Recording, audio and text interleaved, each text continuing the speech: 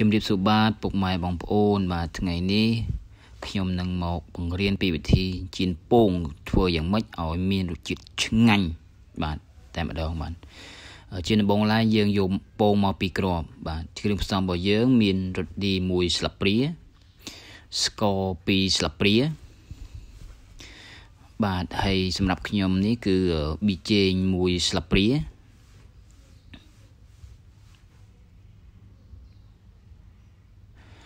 ហើយគ្រឿងផ្សំផ្សេងផ្សេងទៀតដូចជាប្រេងខ្យងបាទ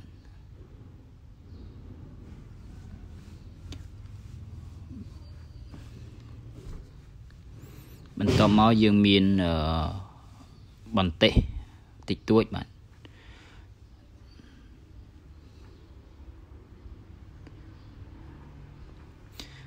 តបមកយើងមានទឹកស៊ីអ៊ីវបាទគ្រឿងផ្សំ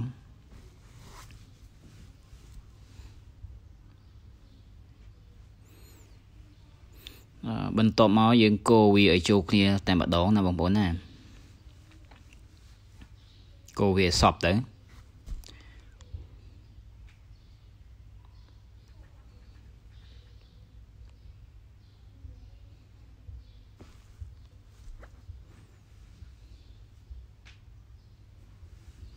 មើលតែទឹកលោកដឹងតែឆ្ងាញ់ណាបងប្អូនបន្ទាប់មកយើងអឺ ដាក់ខ្ទះឲ្យក្តៅទៅហើយយើងដាក់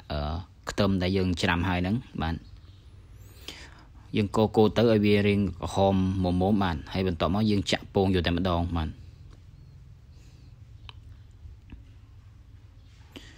បាទនេះគឺរូបភាពដែលចិត្តឆ្អិនហើយបងប្អូនបាទបាទនេះជារូបភាពដែលឆ្អិនហើយតែម្ដងណាបងប្អូនណាខ្ញុំថ្ងៃនេះមានអីទេមានទឹកជ្រលក់មួយចានបាទ នេះគឺរូបភាពបាទសាកល្បងបងប្អូនបាទឆ្ងាញ់សូមអរគុណ